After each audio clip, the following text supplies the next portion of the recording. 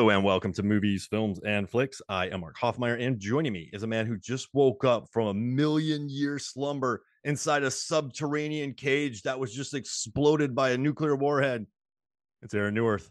Skronk. They blew up his house in that movie, Aaron, and Godzilla King of the Monsters. They just went to his house and blew it up. I mean, it worked out in his favor, but I meant like I feel like Godzilla's kind of like like Caine and Kung Fu. He just kind of travels to different places between the Hollow Earth and just like sleeps wherever they'll have him. All right, this ancient pyramid not working for me anymore now since Ken Watanabe came down there and sure gave me a you know a bit of a lifesaver, but also ruined my current domestic place. Let me go to another ancient pyramid underground and see what I can do. I guess that's fair, but it's just like moving sucks. Yeah, I'm sure. Yeah. Well, that's the other thing. You know, we obviously Godzilla probably has a lot of luggage, but it was all obliterated in the blast. there, so it's, it's not like he has to like hire a giant U-Haul and have to go through all that these days. That's fair. He doesn't have to call Behemoth to like carry a large cart behind him. Yeah. And do that. And that said, I mean, in the next movie, he makes a friend, so it's like he has a moving buddy now. You know, now That's it's not true. just it's not just Godzilla by himself being like, uh, three three more piles of DVD boxes. I mean, because he's all because if you didn't know, because that was also a huge cinephile and he has a huge physical media collection. Like this this iteration of Godzilla, what are his three favorite films? What are what are okay okay let's think this through Okay. this isn't a this isn't a podcast for jokes this is for seriousness so let's let's really hate this Yeah, yeah. seriously godzilla's three godzilla of this of the american godzilla's three favorite Earth's. Protector, Earth takes Protector, naps, grumpy, Grumpy, a little surly. Just a Little Surly. I, I I don't feel- think Godzilla's ever pleased about having to battle monsters. It's just like, ugh, I gotta go I- over here. that's so first one i think uh, i think he's a big fifth element fan I, I I think he has that kind of like Bruce Willis over it kind of appeal, but he's Yeah. also like, yeah, but he's also like, but the makeup, like he's really impressed at the same time. Good music, right? Good music. Good music. He's he, he you know he, he low key loves Ruby Rhod, so he's all about that. okay, got what about like your next? Do you think or like Trick 'r Treat or What what horror movie does Godzilla like? or like Kings of Summer or what about Monsters directed by the people who've directed the MonsterVerse stuff? Does he like Big Trouble in Little China or Goon 2? I mean, if we're talking like horror movies, I feel like monster movies is kind of negate. It's you know, it's like Watchmen not having superhero comics because they're superheroes. They exist, so they have Mhm. pirate comics, right? So I feel like there's no monster movies in Godzilla universe. Right? There's no, you know, he's not watching Tarantula. Like, that's not, he's not watching Beasts of Twenty Thousand Fathoms. Like, that's probably not there. Uh, but like, and so in terms of horror, like, well, what? See, like, what's what gets Godzilla? Like, what scares him? Like, what gets his like his blood moving? The Descent? It's I in the caves. I It's see the underground. I can see the descent because he, yeah, his lack, of, you know, he can't, he can't see, and he's got little like creepy things crawling around him. Like I could, yeah, let's go with that. So fifth element, the descent. We should do a top four. Three is Uh, no good. We got to do a Letterboxd top four here. What about like Little his Little Miss first profile. Sunshine? Like it's a road trip movie. So an, so an he, indie. We need an indie. Yeah, he likes the road trip He likes a road trip. or sea trip or just swim across oceans. You know what I mean? It's like, is there a road trip movie that Godzilla likes? Um, Day planes, trippers? planes, trains, and automobiles. He's a variety kind of guy, and he loves candy. Both both this both sweets and John. oh man, yeah, that's a good one. All right, Okay, all so right. Fifth Element, The Descent, Planes, Trains, and Automobiles. We need a classic. Uh, we need a. We need. We need. Okay. misunderstood. He's misunderstood a lot, right? Misunderstood. I'm think. I'm thinking of noir. Okay, Um, double, not like double indemnity. For, not Double Indemnity because like yeah, I don't Man. feel like he like the. Third man, that's that's good. do you think Godzilla likes Orson Welles? I could see Godzilla kind of appreciating what Brett Wells brings. Yeah, so let's say the lady from Shanghai, just like the exotic flavor of it. Oh, oh yeah. so okay, so the fifth element, the descent, uh, planes, trains, and automobiles, and the lady from Shanghai. Godzilla's top four. Let's create a profile Letterboxd. Nail it for him. Oh, that's a good. That's a good one. That's a good four.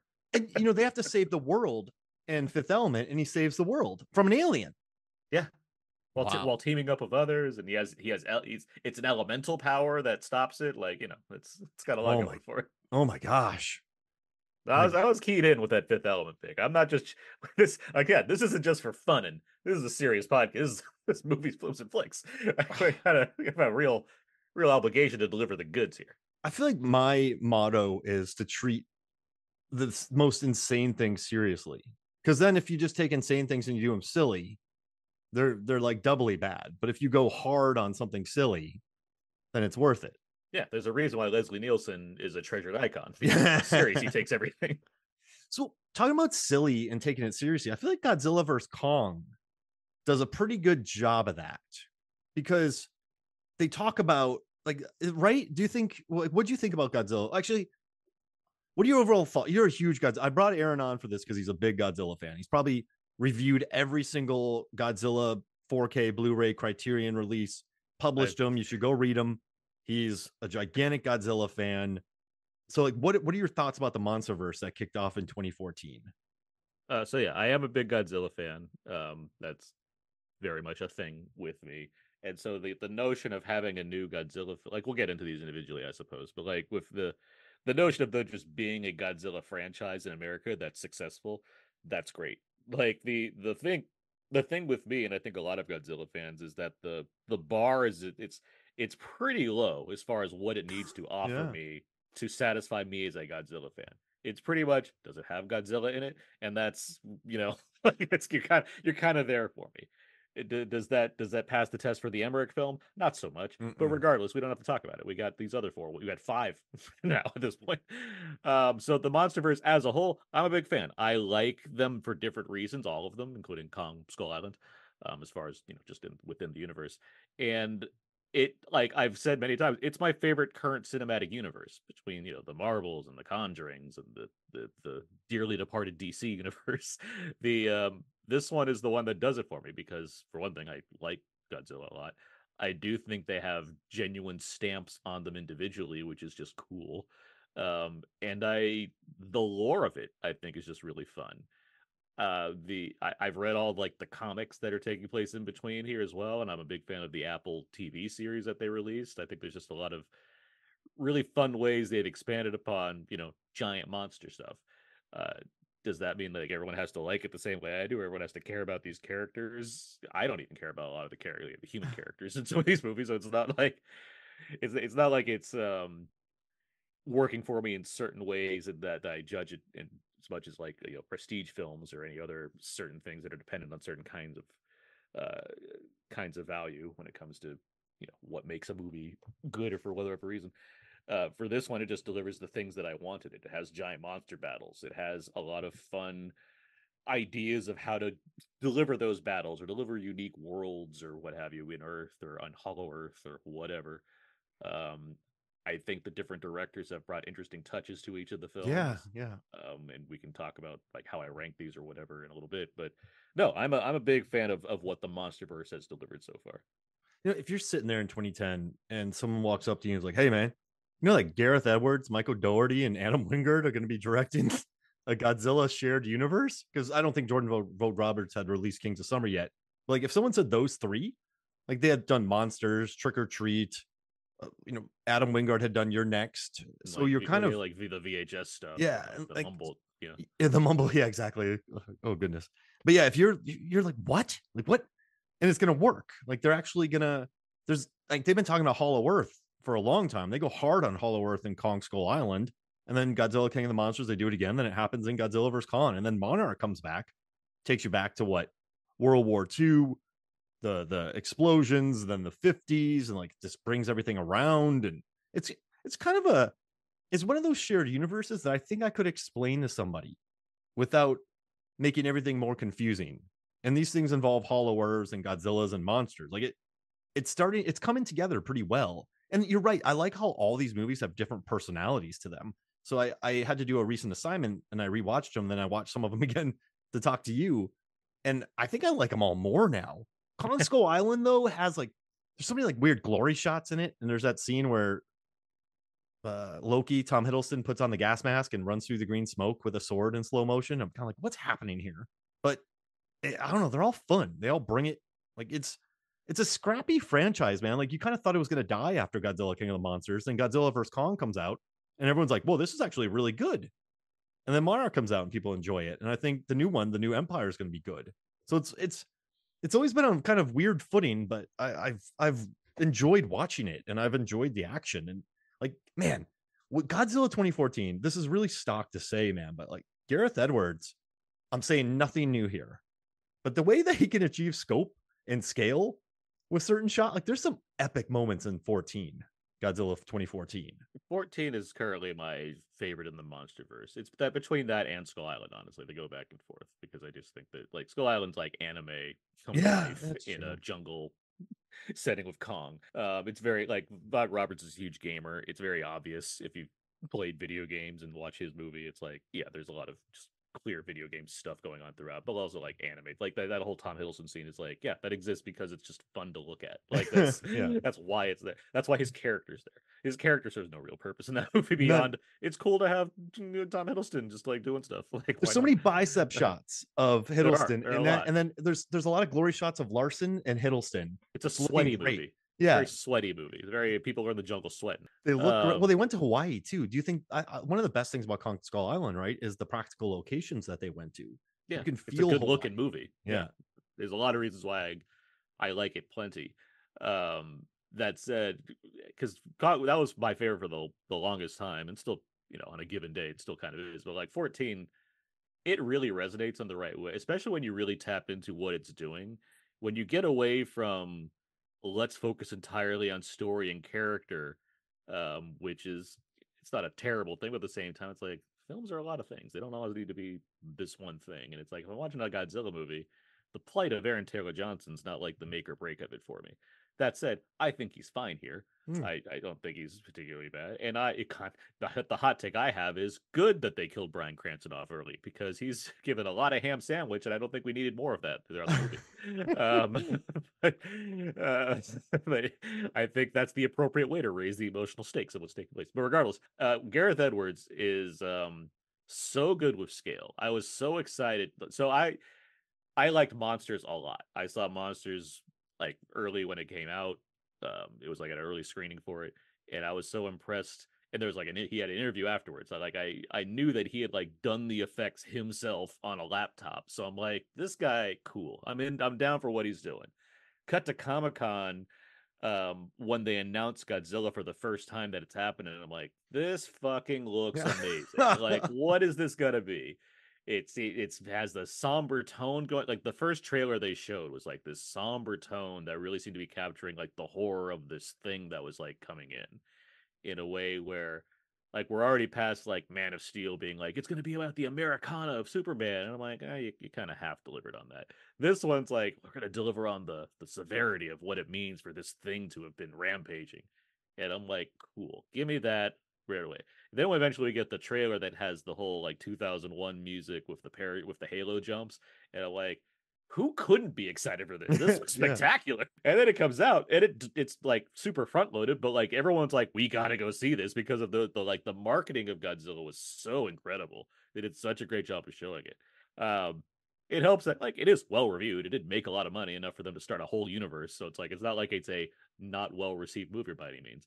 But it does feel like it gets slack because of things involving like oh the humans and whatnot. It's like guys, did you come to see the humans? Like, um, and I it, and like listen, like I'll say this over and over again, but it's like there are over 35 Godzilla movies. The the amount of them that like have deep characterization for the humans, it's a very small number and includes the one that just came out now as as far as the strongest example of that. So it's not like I walked in being like, "Oh, I can't believe they didn't get the humans right." Like that's that's pretty par for the course that of, of how much I need to care about this action. What it does have though is this incredible Spielbergian approach to Godzilla where like it's so much focused on the awe and the wonder of stuff that's taking place and it knows how to gradually build towards those things as opposed to just giving it you right away not a terrible thing i'm not going to be opposed to being like in the first five minutes i get godzilla but this movie like makes you wait a good while before you really get a good look at him it has a really great sense of like how to display these fights so you don't get bored of them. I know there's a lot of again bagging on the like it cuts away at like certain times and i'm like i love the after the fact like choices let alone the fact that the camera always reflects plausibility.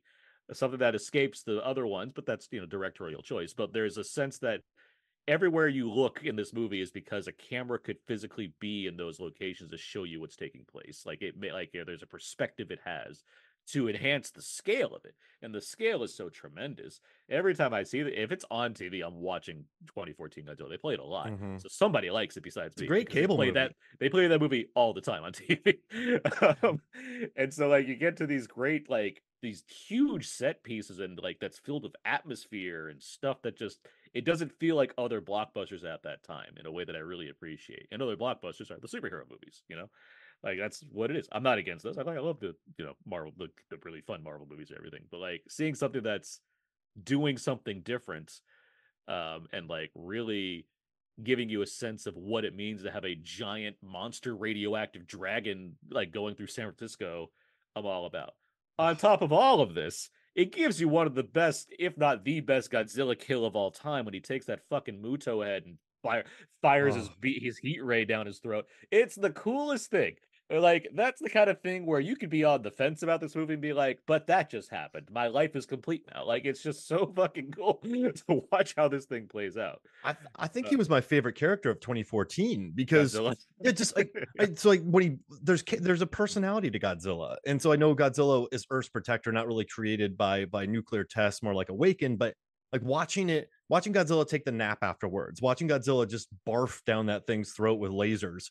Uh, I, I wish I had technical terms, and just explode that Muto. Watching mm-hmm. Godzilla swim next to the aircraft carriers while a helicopter hovers over it to give even a better sense of scale. Like this Godzilla in this movie is kind of like a grumpy protector who's just like, ugh, gets up, swims, fights, gets hurt, battles a couple of them, takes a nap, goes back in the ocean. Like I love that about Godzilla in this movie. And and He Man, gets I- a workout. He gets Yeah, a workout this yeah. one. and and listen, like you know, I, I watched it again. I did not Aaron Aaron Taylor Johnson, Olsen, like I didn't mind those characters, and also Jared Keeso from Letterkenny and Shoresy's in it, and that made my week. But I, I, I don't know. I liked Johnson's character more because it's like, hey, let's go from point A to point B. Oh, also, I, forget his name, but the guy from Raising Victor Vargas is in it, and I always like seeing him. So yes, he is. Yeah. Um, no, I think Taylor John like whatever you want to say on the performance, fine. I could I could agree that I've liked him more in recent years where he just pops up mid movie and it's like I'm a supporting character now, like Tenet or like Oh, all yeah. Bullet or Bullet Bullet Train. gets to play like a character. Like I think he like the leading man stuff. No, I don't think it's for him. I think he's more fun in you know playing like quirky character roles, which is why I get insane every time someone's like he should be James Bond. I'm like, no, he shouldn't. That'd be boring. Yeah. let, let him play. Let him be a Bond villain. He clearly likes doing this. oh, that's a, Um, that's a good shout. yeah, let, let him be Gold Gold Hand. You know, son of Goldfinger. But, uh, no, Johnson in this movie though. I mean, the role he occupies. I like the idea of there being this kind of like observer that's like around. There's a lot of Godzilla comics there. Like there's a was like the 40 year war or the 50 year war or something like that where it's this like it follows this one guy that's like constantly in the different like eras that godzilla exists in so it's like you're seeing the battles godzilla goes through but like his specific perspective. It's cool like that where johnson like just finds himself entangled within this plot so you can you have an audience weigh in essentially. But then just the way it like the movie doesn't have to do a lot of like work to like show what he's doing. Like there's a whole like the mutos drop eggs, right? There's a nest and everything, and uh, Aaron Jericho Johnson finds it. He's like, Bl- blows it gotta up. blow that egg up. We got so he, he does, you know, gets the whole gas thing going. Like, there's a lot of stuff like that that he's involved with, where it's like inadvertently helping the world while Godzilla's busy, and it's I I think it plays well in the way it's like shot and the way it's like given to us and quieter story beats. There's a part where Godzilla like falls down because he's exhausted from fighting two fucking mutos, and Johnson's like there too, like on the ground. Is like, I hear you, buddy. Yeah, yeah, yeah, yeah. They're both looking at each other. We're He's on the the boat, end. right? Yeah, like uh, well, the, it's it's before the boat thing. It's like Godzilla falls on like just the ground, and it's like all dusty. Everything. I think he just got out of like the egg sac cave or whatever, and he's on the way to the boat. Then the boat thing, though, the boat thing always reminds me of like Saving Private Ryan, where like where uh, Johnson's on the boat, he has like a handgun, and he's just like pointing at the Muto. It's like I guess this is all I got, and he's he's like about to shoot, and then the Muto like grabs it. It's like Tom Hanks at the end of Private Ryan, where like uh, suddenly like the, the the backup finally comes. This is like and Godzilla comes. It's like- the only thing that could have made that better is if he like pulled an American Psycho and like looked at the gun. Like, did I do that? Did I just blow up that thing? Did? I just But, blow like, up that car? it- you know, it makes sense too because that Mut- Muto is, is already pissed at him. So yeah, it's like, he blew the eggs. yeah, and so like it makes sense that the thing would be like, I'm gonna get that little little punk. Like I'm gonna go kick its ass. there's a good there's a good pull. Um, but yeah, it's and then that gives Godzilla a chance to kind of catch a breather and get over his cramps, and you know just walk it off a little bit and get up and then pulverize the Muto. It's it's good storytelling, man, and I, I don't know. I I'm just gonna say I, I I admire his scale. Like I was watching Rogue One, and I, there's a few times watching Rogue One where I just went, "Holy shit!" Like just when that Star Destroyer is over that city, and then watching the Creator, and every time I learn more about the Creator, I like it more and more and more and more. So I just really enjoy watching this guy's movies because, you know, I, I think he in all of every single movie he's done, he gives me what I want. Like the the the monsters at the gas station, like he gives me monsters, and then he gives me oh, that's actually all I need. Yeah, that's it. And like it just he gives me I don't know I, I I don't know he gives me a good beach fight in Rogue One like that's heaven for me.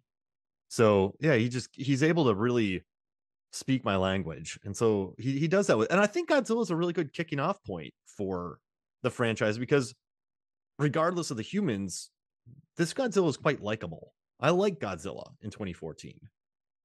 Yeah. I, I mean, Yeah, yeah. we quickly learned that he has villains that he's facing off against, so it's, it's easy to get on board of what he's after. Um, He's just tired. yeah, he's, he's it like his Godzilla's role in, in in 2014 is to be like, all right, I guess I gotta clean this mess up now.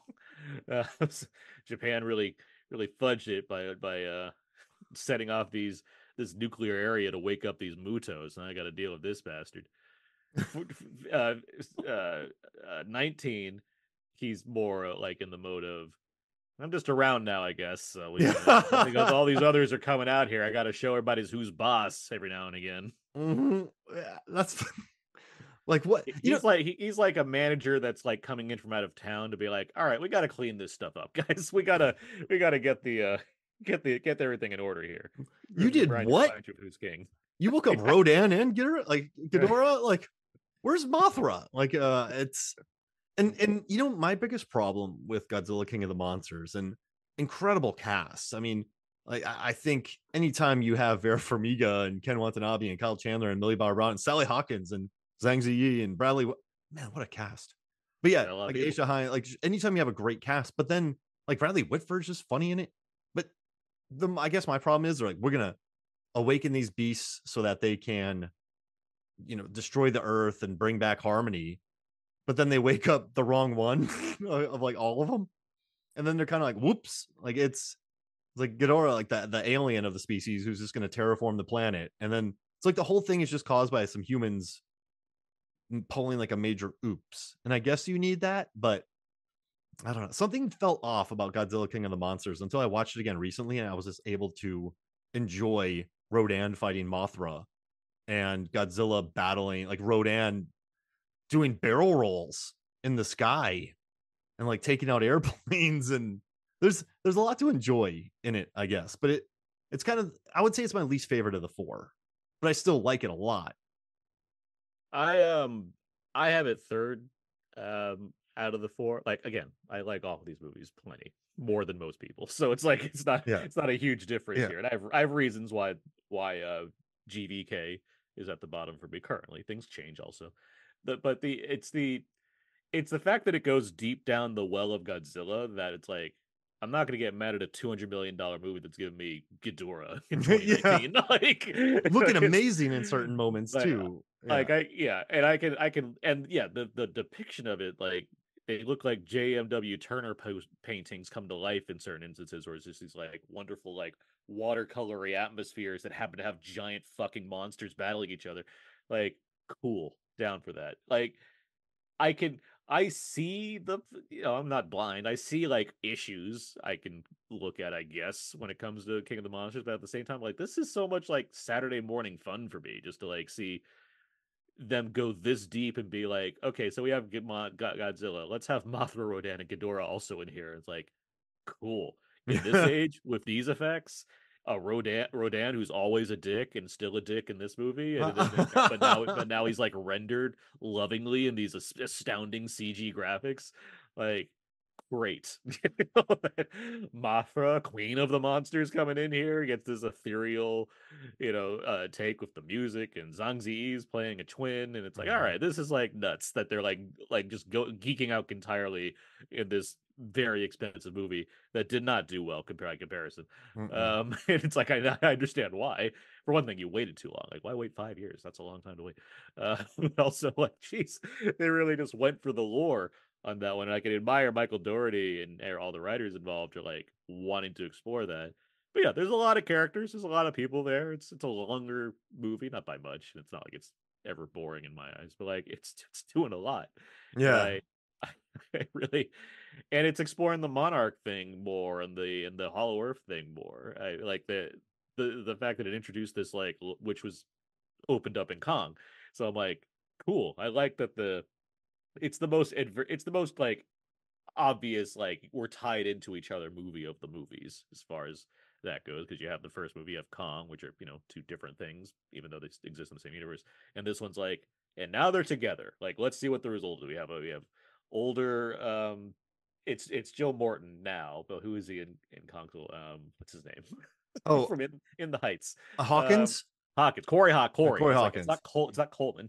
Corey, Corey Hawkins, like older Corey Hawkins here is Joe Morton now. You, you know, you have, you have the the different version of Monarch, like it. Ken Watanabe's back. Like it's just like I'm in, I'm so like invested in like what's this all meaning leading to and what have you, and, and I and knowing that it's going to be Godzilla versus Kong, I'm like great, cool. Give me all this stuff that's relatively new to me, so it's not like I'm you know have to like dive deep into comic books from 70 years ago to like figure it out. Not that any movie requires that because that's dumb. It, you can walk into any of these it'd be fine because you're an adult that understands how things work. Uh, but regardless if it's there and you want it it's there. Um, and so no I, I have a lot of fun with um with uh, godzilla king of the monsters. And it's just like um it's not Giacchino. Is it Giacchino? Um, the score. Um, yeah, it is. It is. yeah, Yeah, yeah. because I, I believe they kept Well, talking about it. I believe. Desplat's the first one. Giacchino's is yeah, and and um, it is right. I'm not making that up. Wait, no, uh, Actually, no. I was listening to a. No, I was listening to. Bear a- McCreary. That's uh, what it is. Cause okay. I was listening to a Bear Mission Impossible three commentary. For some reason, they kept talking about Michael, so that's why I, I mixed them up.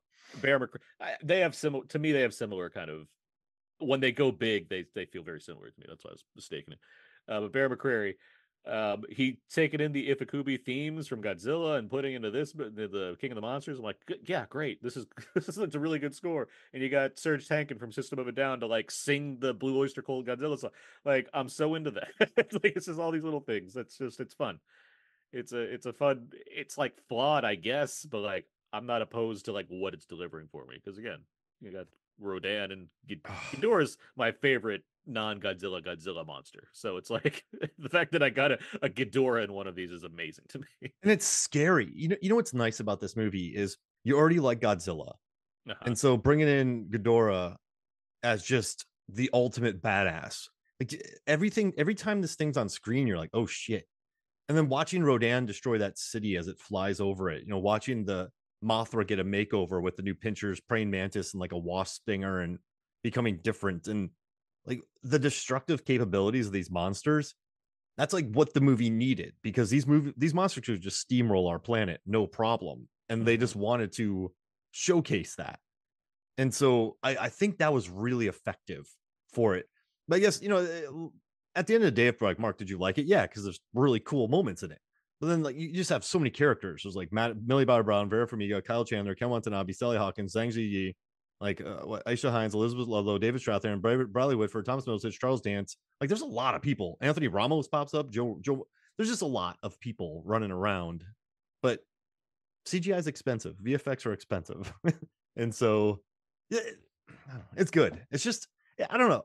It's a weird one for me. Is is it possible to really like someone something but also feel a little indifferent towards it? Like you like the moments a lot, but you're Sure, not. That's, yeah, that's that's that's plenty of Best Picture nominees that you like a lot and then you forget about. Yeah. soon as the Oscars are over.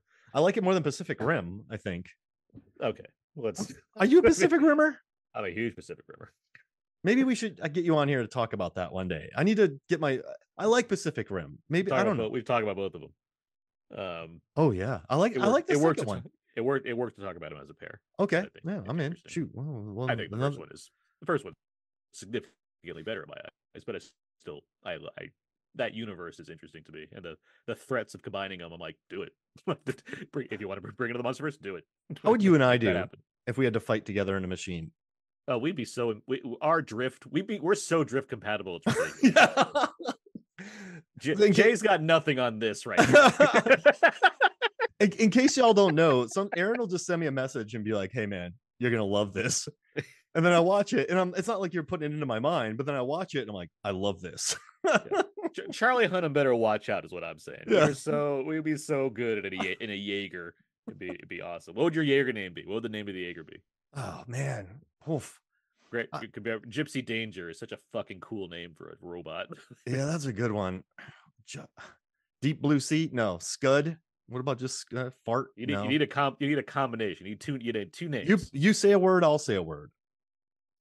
okay. Um, We'll see if we're how how we work together. What, what would- give me one word?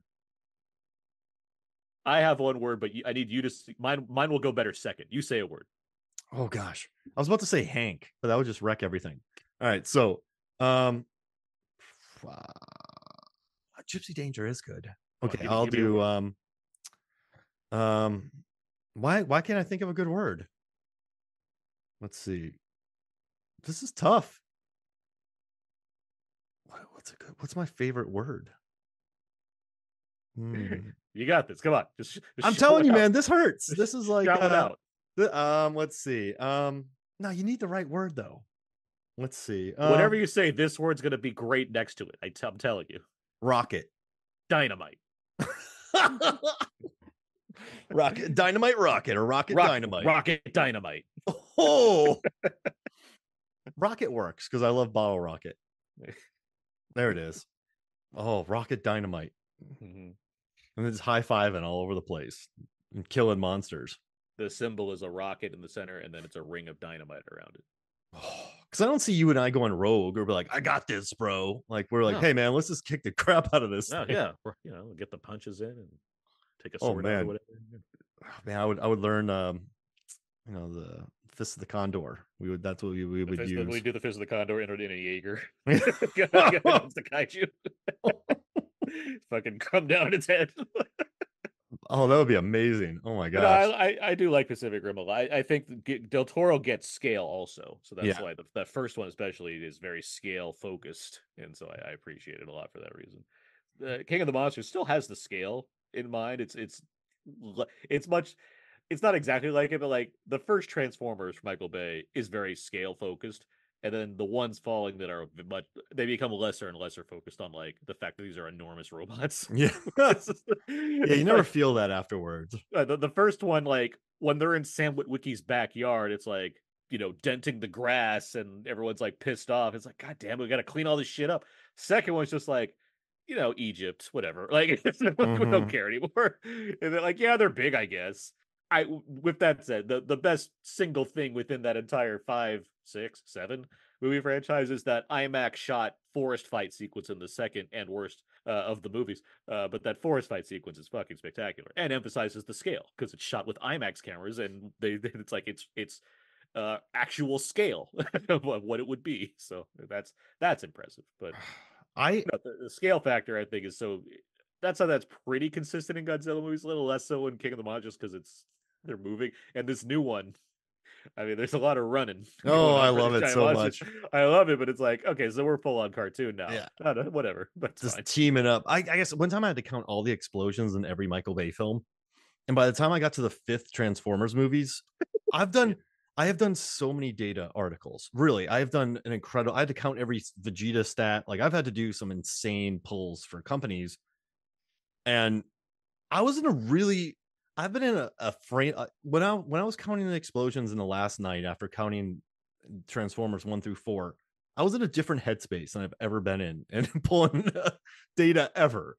Like I was, I don't think I can ever explain when I got to Transformers 5 and counting the explosions, what was going on through my mind. But it's such an insane, weird movie anyway. and then you're freeze framing it to count 18 explosions on the screen. That was interesting. I, I almost I feel like I lost my mind a little bit on that one. I think I got it back, but yeah, that was a lot. Hey, um, hey, can we? All right, Godzilla vs Kong. We'll get this Kong, Kong Skull Island, but Mhm. so it's your it, okay. There, we so we're saying all we like all of these. So if all something these are all these are four stars Yeah. at least for me. Yeah. Exactly. So if something's last, that doesn't mean it sucks. It's just it's like it's the least awesome of awesome things. For me, like Godzilla vs. Kong felt like such a blast of fresh air. You had I mean, I love the the the fight on the aircraft carrier. It was just so so so silly. Uh, I, I love that just Rebecca Hall is running around and Alexander Skarsgård and Eiza González and like I, I don't know. I, I had such a fun time with it. And then it got into the crap, I forgot the name, not the underground. The Hollow Earth. Yeah, the Hollow Earth. Like then he got into it, and then there's Mecha Godzilla, Demián Bichir just gets smashed. I, I I really liked what Kaylee Hottle in the movie. I thought she was like perfect. It's just it's so silly and absurd, and there's an axe, and Godzilla breathes atomic energy onto an axe and powers it up. Like it's it- it's one of those movies where I just I, I had the big like doesn't the, they use a spaceship as a defibrillator? Like there's just so many moments in that movie that made me so happy, man. Like I I I like all these other ones, but there's just this like go for broke. Like, you know, Godzilla 14 is relatively grounded. Kong Skull Island is, like you said, like, kind of like a video game, kind of like a war movie, still kind of grounded. Godzilla King of the Monsters is gigantic and like a massive, very serious explosion fest. But then Godzilla vs. Kong, it's just like they take a train from Pensacola to where? To wh- where's Hong the Kong. final? Yeah, Hong Kong. Yeah, Hong Kong. Like that's an underground train from Pensacola to Hong Kong. Like that's more miraculous to me than any Titan that they built that secretly and it works. And they just use it to transport alien, or, you know, Titan pods. So it's, I don't know. I feel like it was just made for me. I. I mean, I, I'll, I'll say uh, it like I don't deny the go for brokenness of it. I do think the, the films as a whole, I think they're tonally not that different from each other. The first one's the one that's like more serious, but it's not like it's also not fun to see Mhm. like a like a, a cut from a casino gets ripped open from the ceiling to a hotel room in Caesar's Yeah. Palace that uh, that reveals that the fucking side of the hotel's been ripped off and that there's a monster walking away in the distance. Like Gareth Edwards knows how to have fun. Um, Kong, Godzilla v Kong, yes, it's very, i- i- it's very much more in the, it's very comic booky in that sense. Um, and uh, the the the reason why, and it's like I've, it'll probably be the one I watch the most. Um, that's a good point. Yeah. just because it's e- it's the easiest to put on because it's very stripped down and that's that's where my not even a gripe is just more of like it seems very apparent to me that because Godzilla King of the Monsters didn't do too well that whatever like plans they had involving like let's keep investing in the lore aspect of this is very much stripped away in Godzilla. Oh, It's very it's they barely mention anything monarch related um outside of like doing stuff through because it's Demián Bichir's company that's doing everything. Monarch's just kind of on the peripheral in this one. But they go to the Hollow Earth, which is cool. Um, but like whatever lore based things were going on, there's just less of that. And again, it's a Godzilla th- like the bar is very low. So I'm just it's like I'm still getting this. Like, it's a movie called Godzilla versus Kong. Without credits, it's an hour and 40 minutes it max it maximizes the amount of stuff that I can see involving Godzilla versus Kong. Not against that. It's just more like the they shave they, they it feels like they very clearly shaved this thing down to the bone um, to get a decent runtime to make up for the fact that the second one is or the third one is you know longer. It's not. I don't again. I don't think it's.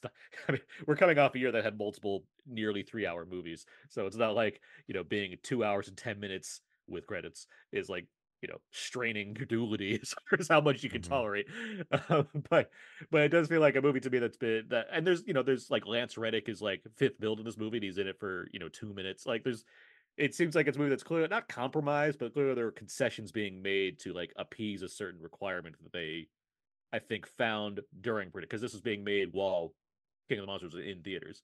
So i think they're responding in real time what they wanted that's me like highlighting like the things I dislike. The things I love about this movie are all those things you highlighted. I mean, it's it has a lot of fun doing all this stuff, and it's very colorful doing it. That Hong Kong like third act is Ah. spectacular because of how much neon's in place there. It's so cool to see. For everyone that's complaining about how dark the other two films are, which I mean, if you watch them at home on like your, you know, not a 4K, it's like I guess perhaps, but like I mean, it they're cool fights. This one is like we'll we'll double it, go overtime to make sure that you, there's no complaining whatsoever by anybody. Because yeah, you get some really cool stuff between Kong and Godzilla fighting it out in Hong Kong, which is great, or that aircraft carrier type fight, which is broad daylight, which is awesome. Like that stuff's great. The the uh, the the things with Rebecca Hall and uh, Alexander Skarsgård and Demián Bichir and Eiza González, like that's fun. Um, I like that there's this kind of like journey to the center of the earth, Jules Verne vibe going on in the middle of this movie.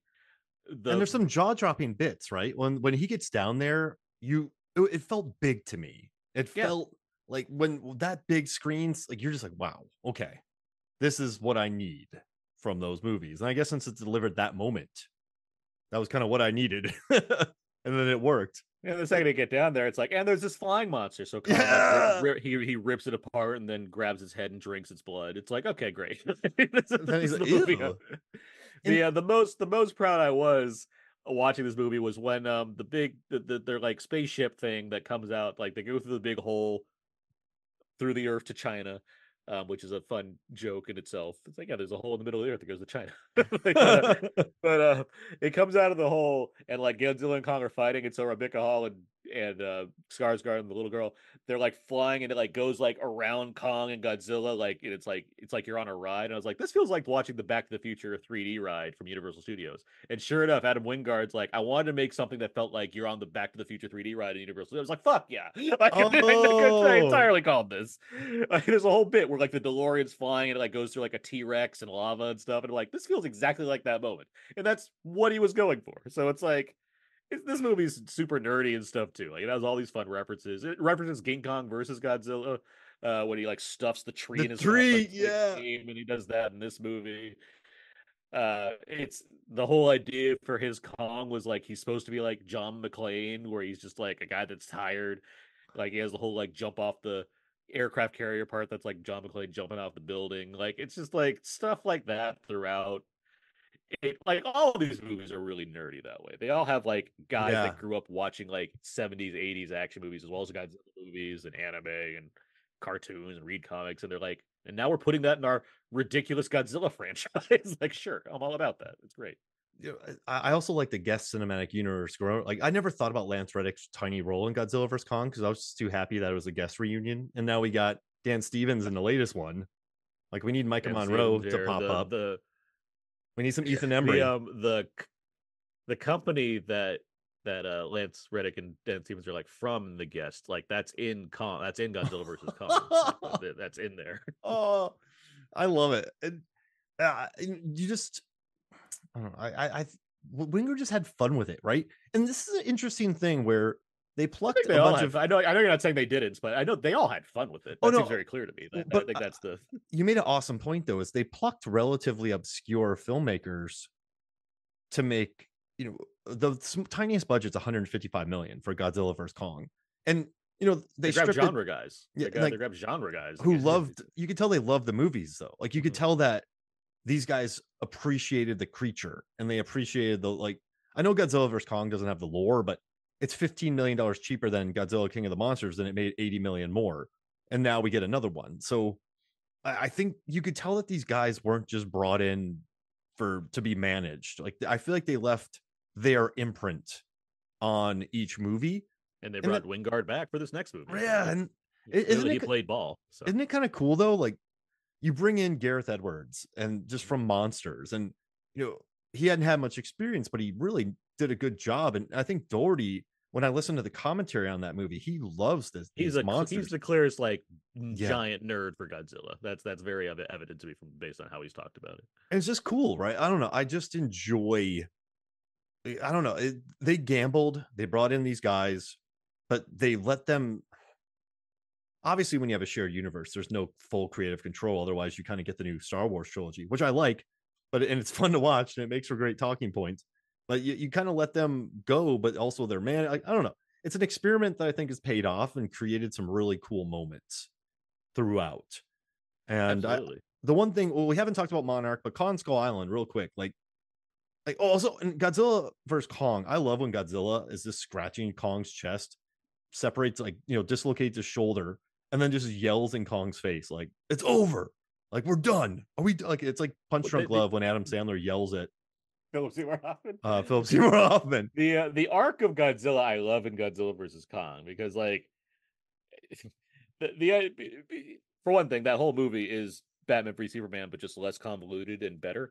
Um, that's my, my other thought. Of, like the structure of that is exactly what I thought it'd be. It's like yeah, they'll be fighting, but then they'll have to team up because there'll be like some other thing, and that other thing turned out to be Mecha Godzilla, which is awesome. Um, but the but my the the thing with the Hong Kong stuff with Godzilla I love because it's like people want to say it's like Godzilla was losing that battle against Mecha. It's like, guys, think about this. First up, like Godzilla's here, and Kong comes in. He's like, okay, I gotta deal with this Kong guy. I already beat him once in the ocean. I gotta beat him again. And now he has an axe. It's like, okay, what? There's an axe now. All right. So he's like, he's he's toying with Kong in that battle, and he get he he get he gets he, he loses that round because like, yeah, okay, I didn't expect the guy to have like a a heat ray axe to to, to counter me. Whatever. So then second round starts, and he's like, "Okay, you want to? Okay, tough guy. He got this thing that. All right, let's do." it. And then he like beats down Kong, steps on his chest. It's like, remember, title's on me, King of the Monsters. So he's like, and he's done. He's he's done. He's packing his bags. He's going back to his house to watch The Fifth Element.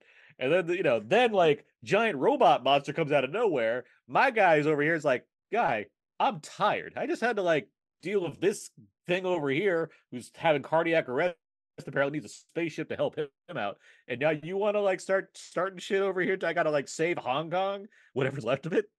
So yeah it takes a little, he takes a bit of a beating. And he's like okay like we we both see what's going down right kong and yeah they get together and they fight and there's that other great moment in this series too where they both grab his arms and they ram him through a building that's the fucking coolest thing you Yeah. can see it's so cool oh, man.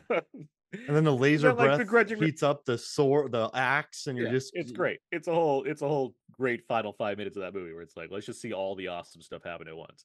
So then by the end of that, it's like, okay, cool. We're on we're on good terms. Like still, remember me, title, King of the Monsters. But you you can do your thing. Go back to Skull Island or whatever the hell. I'll be up here in up in my world. You be down there in your world. And he yells at him before he leaves too. he gives him a shout. Yeah. it's more of a better luck next time. oh, that made me so happy.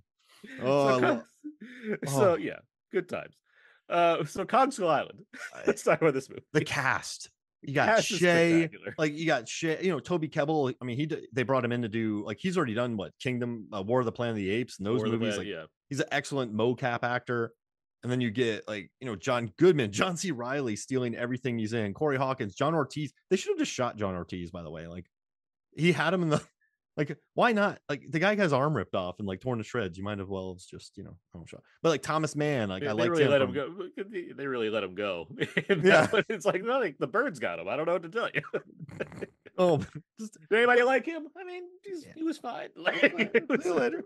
Uh, but like Eugene Cordero, who's in like he's in just a bunch of things I love. Like I always love seeing him pop up. And then like Brie Larson and Tom Hiddleston are just there to be pretty faces, pretty much. Like she just takes photos and to be like a better, I guess, Fay Wray. But they don't really have that relationship with Kong. And then Hiddleston's just there to be muscly and smooth.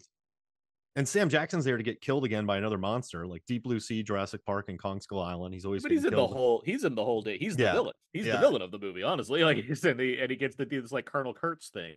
Like, Yeah. you killed my man. You killed my man. That means I'm against you forever, Kong.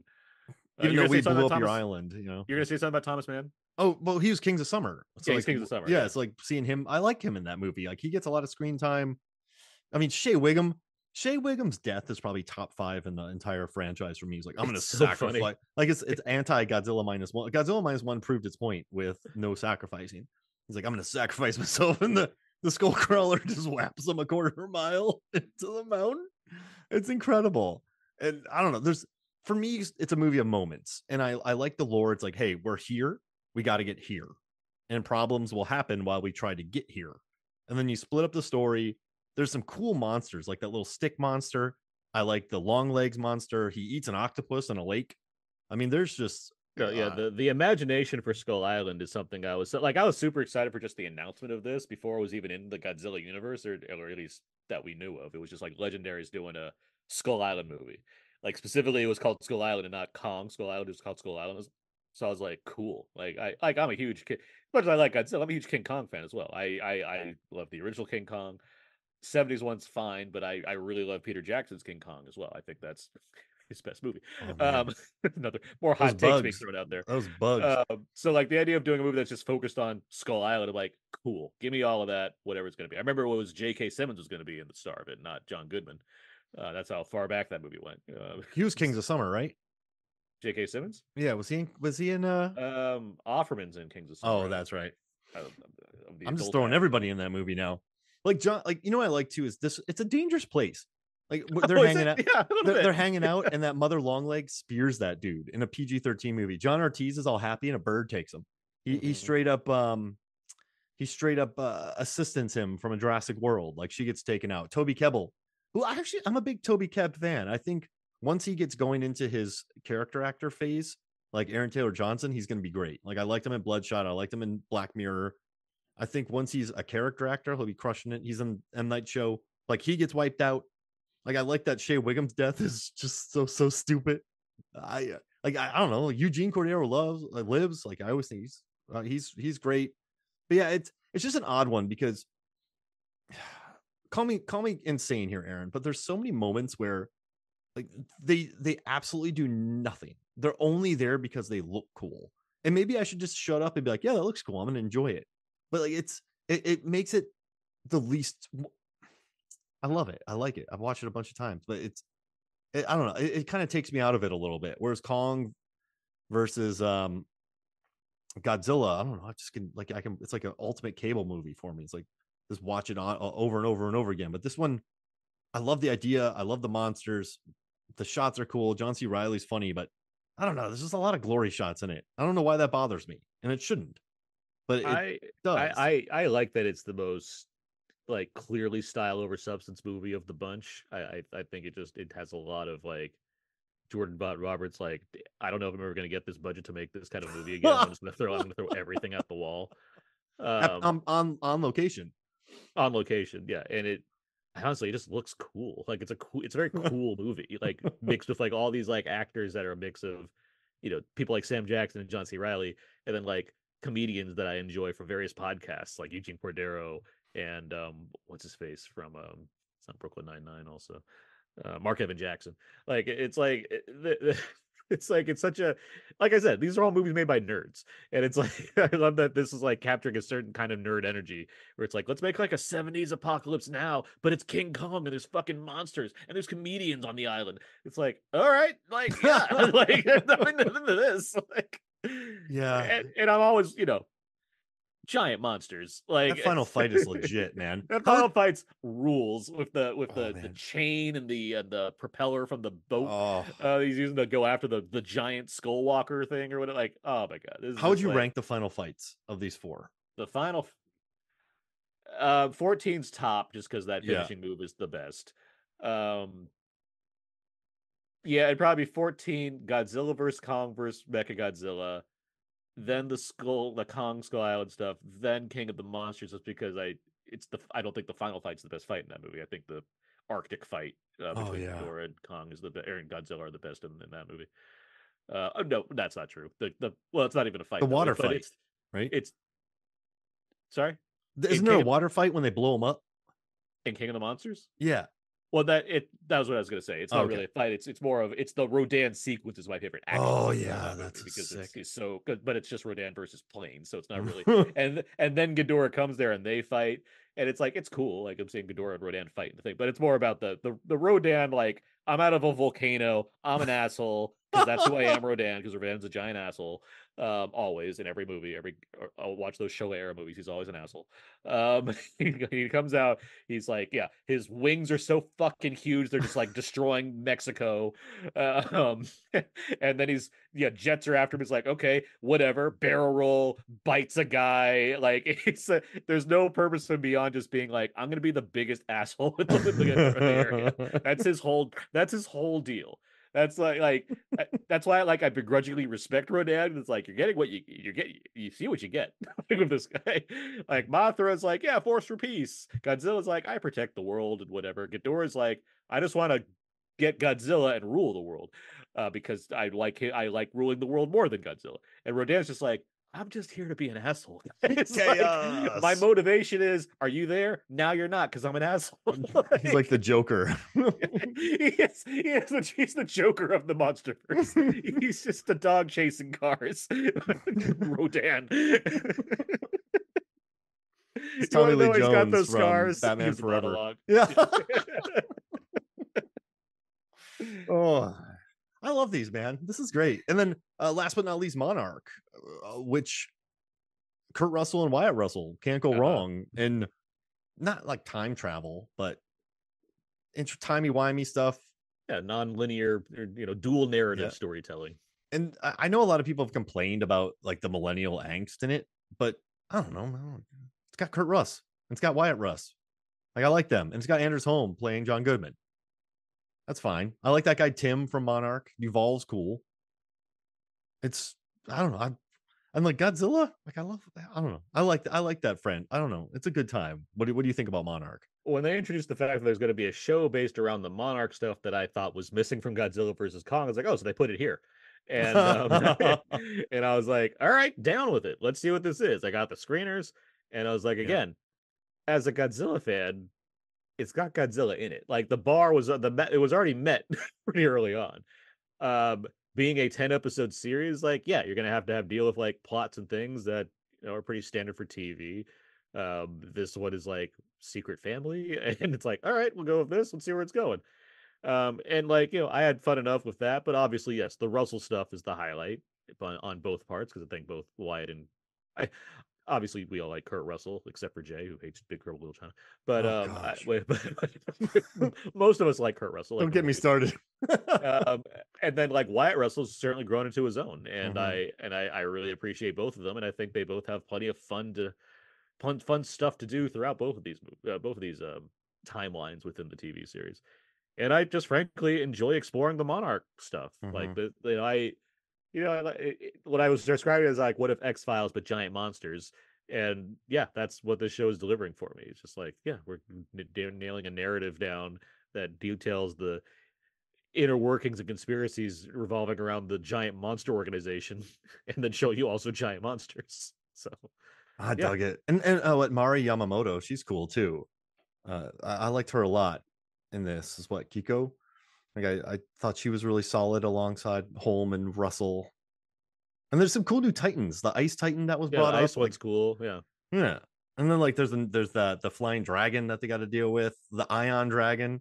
I don't know. It's it. I don't know. It, then they sent the screen. Well, Apple they always send out their screeners early, but they have some confidence in it. And I watched as people kind of complained with the first couple episodes, which is odd. I don't like this show because of the first two episodes out of ten.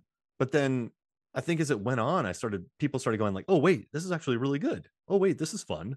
Like, oh wait, this is getting really good." And I think it does travel some cool play. Literally, like it. I like when they dump them down in the the space in between the two areas and just I don't know. It's cool. It's a good show, and I hope they get a season two, but they haven't announced it yet. Not By the way- because I imagine because it's expensive, so they want to like really make sure they can do it appropriately. Yeah, yeah, it's true. You know, I I think that's why Silo Silo's after- getting a second season because that that show didn't. It costs money, but it's not nearly as expensive to make. I would think as Monarch Legacy of Monsters. Are there giant monsters in it? No, Yeah, it's not Like, expensive. I Not feel like expensive. Westworld priced itself out. It could have gotten another season had it just been like, "Hey, we don't need to spend twenty million an episode." But Eh, I, I I I don't know what stopped them from making a final season of a series that's very dedicated on the storyline that it clearly had in mind. I eh, that's yeah, it's true. That's off it got too expensive. I think. I'm sure it's expensive, but I don't think it hasn't been worth it. And uh, Yeah, that's true. like, it's not like they have to like get rid of it afterwards either. I mean, they get to keep what it's like they destroy Westworld after they air an episode of Westworld. Like it gets to keep existing. True. So, I feel like there's if we didn't have certain people in charge of Warner Brothers, I feel like there's ways you get around making money. like I, I I don't it's a whole other conversation, but it's like yeah, you can run things like a business um and succeed in whatever you know way that makes you feel comfortable. But in terms of like business in relation to art, eh, you know these companies, Warner Brothers, Disney, they wouldn't still be around if they weren't good at both the art thing and the money making thing. Yeah, like yeah. you know, to, no one likes to hear we have to take a loss on this, but at the same time, it's like I mean, shit happens. You got to take risks, and like there will be other ways to make money. I guarantee you, like you're you're still going to be a millionaire tomorrow if Westworld season five doesn't get the ratings high that you're hoping for. Yeah, no, and, uh, and the, it's not like the public benefits from being like, oh, so we don't get a conclusion to our series. That's we don't get to know what happens. Uh, all right, that's great. Thanks. I, I was convinced they were going to do a movie just to kind of give us something. That'd be too complicated. No one's gonna want to do no one's no one's gonna walk into a Westworld movie and be like, I know what I'm doing. Like, I mean, it's like, yeah, yeah. Like I watch. Westworld, and every season I'm like, wait, what is this again? Is yeah. Why is the Skarsgård here? But hey, the, all right, all right, before we get out here, real quick, uh, uh-huh. give me your three favorite moments from this entire franchise. Uh, obviously, uh, Godzilla blows a heat ray down yeah. MUTO's neck is one of them. Um, like that should be a default. So let's go about three other ones. Okay, yeah, three that. other ones. Um, the the the like the reveal of Ghidorah in King of the Monsters is wonderful. When yeah, it, the whole like build up to it, as far as it's breaking out of the ice, the tails start popping up from under the ice. Then it's like one head, then another head, and then O'Shea Jackson's like, "There better not be three. And the third one pops out, and he's like, "Oh, there is three. He doesn't say that, but that should that should have been the line. Uh, what, what if that's that's why I should write scripts. Yep. there better not be another one. There better not. Oh, come on. Oh, dang. Um, uh, so okay, that's one. Um, let's see. Let me think of something from Kong Skull Island that stands out like super high for me because I I really like that movie a lot. I mean, when he starts swinging that thing on the mo- the creature, like, and then when that monster bites Kong's hand, and then Kong pulls his innards out, like that's yeah incredible. That's a it's a good it's a good kill for sure. That you know it's it's a really good kill. And I love when that guy gets uh speared by the mother long legs. You're like, what the what just happened? And like it's... I love the op the opening's cool. Oh, I'm uh, going Shea. I'm taking Shea. My three favorites when Shea gets obliterated into a. I, I was leading up to that. I'm gonna say Shea too, because yeah. I think that's such a fun inversion of that trope, and it's very funny but like dark at the same time. It's just a good. It's a good bit. Yeah. Um, the opening is really fun though, where like the two like the plane like John C. Reilly, young John C. Reilly's introduced, oh, like so falling good, out yeah. of the sky, and he lands and the movie for a second is like Hell on the Pacific, this old Lee Marvin Toshiro Mifune movie, where he's like it's a Japanese soldier and a and an American soldier stranded on an island, and, and it's like and they're you know they're like I guess we hate each other and yeah we were going against each other. Except this movie's like and now there's a giant monkey in the middle of each other. So it's like all right, that's what what an obscure reference to pull. Uh, but yeah, no, the Shea Whigham thing from Kong Skull, and then with um with Godzilla versus Kong. I mean it that it's hard not to choose like the Mecha Godzilla through a building thing. Is like that's fucking cool. Uh, but that that uh, aircraft carrier fight, I mean, that's that's great. That's great stuff. When oh, the John McClane jump. When uh, when Godzilla climbs on the carrier and they're both standing on this thing, they're like, "How does this work? I don't care. Boats float. Don't worry about it." like, "All right." it's air, it carries aircraft are and they're that big. I mean, I mean, aircraft carriers are pretty big. And then like God, uh, King Kong like gives a big punch, and Godzilla like turns a bit. He's like, "Okay, I see this coming because I'm not stupid." And then he hits, then he slaps King Kong back. it's like, "You don't punch me." and then they have a brawl. That's good stuff. Uh, yeah. I'm gonna go with Shea Whigham blowing up the nap in Godzilla. And then the axe power up in Godzilla vs Kong, where Godzilla just breathes on the axe, and you're just I think I picked up my wife and ran around the, you know, just ran around the place with it because I'm like, I was like, it doesn't get any better than this. This is the greatest thing ever. Well, that's, I mean, that's the MonsterVerse in general. Like, there's so many things to take seriously as far as what kinds of movies you watch and like how to appreciate them, or what have you. And this is like, we got a bunch of nerds slapping together visual effects that show you giant Godzillas and Kongs and Ghidorahs and Rodans and Mothras. Like, stop stop thinking too much. is, yeah. I'm not a person that says turn your brain off because I think that's a stupid phrase, but I'm like the the requirement for what you're supposed to enjoy here, it doesn't seem like it's a mystery. It seems like it's pretty straightforward. There's giant monsters and they need to be battled and somehow. And these oh. movies constantly deliver that in, in exciting and fun ways. And they have like it's also like these the cast they're choosing. It's like they didn't give these person enough to do. It's like, who cares? Like they're here. They wanted to have fun. They Yeah. did. They said some lines. Some of them were probably funny. Whatever. What do I need to hear? His second grade teacher, how he fucked him up, and now he's a scientist for Monarch. Who cares? I just want to see him having fun. Like that's that's it. That's all I got. Like, it's, Ah. it's it's fun to see it. Ken Watanabe's here just to lend gravitas and say let them fight. Cool, done. Like that's that's all you got. You sold me. I, I kind of want to watch Kong Skull Island or thinking about what you said about a dude got 170 million dollars to make a video game.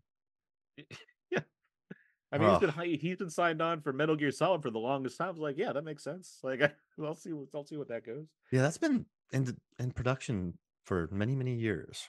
We'll see. Yeah, what I, happens with it. I, I don't think Os- Oscar Isaac was supposed to be solid for a while. I don't think that's happening anymore. So we'll see where that goes. Jeez Well, hey, uh, where can people find you, man? And where can they read your stuff, listen to your shows, all that? Where where uh, where can people find you? Well, I host a podcast called Out Now with Aaron and Abe. My friend Abe and I discuss weekly uh, releases, and we have a lot of fun uh, bonus episodes as well, including a commentary every month. Mark has been on many of our commentaries. Um, and we just had like all our Oscar shows. We're gonna have our summer stuff coming. The horror It's a lot. episode is brilliant. The horror episode. We had our horror awards pretty recently, which was super fun. So yeah, we have all that. That's everywhere you can find podcasts. I uh, write for weliveentertainment.com for movie reviews. I write for Why So Blu for Blue and Criterion reviews. Um, everything I do can be found on my Substack page, thecodeofzeke.substack.com, and I'm on all the socials at Aaron's PS4. Crushing it. Well, dude, thanks for joining me. Thanks for This this me. is quick, quick. You know, like I, I didn't give you much notice for this, but I was like, I, I need to talk about these movies because This is not hard. this is not hard to do. I it's not hard. To, not hard to prep for this. I've decided on the podcast when I get these huge research assignments, I'm just gonna do an episode about whatever I research and message someone who loves the stuff, and then I can just Mhm. get easy content out of it. Because I don't like doing episodes that don't have much research. So I, I know I, I had to do a ton of staring at creatures, so I was like, I got to talk about this. But hey, thank you for joining me, man. Sure. Thanks for having me. All right, so for me, Mark Hoffmeyer, for Aaron Neuwirth, this is Movies of the Flicks. We'll see you next week.